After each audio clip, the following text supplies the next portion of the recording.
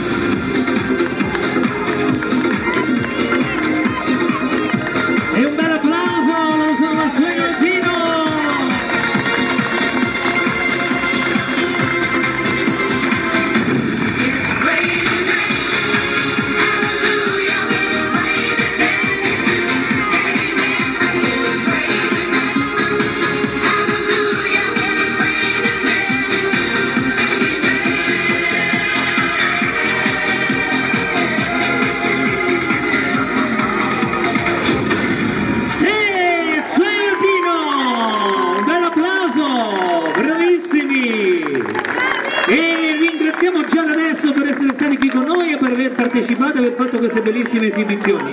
Ma non finisce qui perché più tardi me ne fanno vedere una molto particolare qui, anche se queste non sono da meno.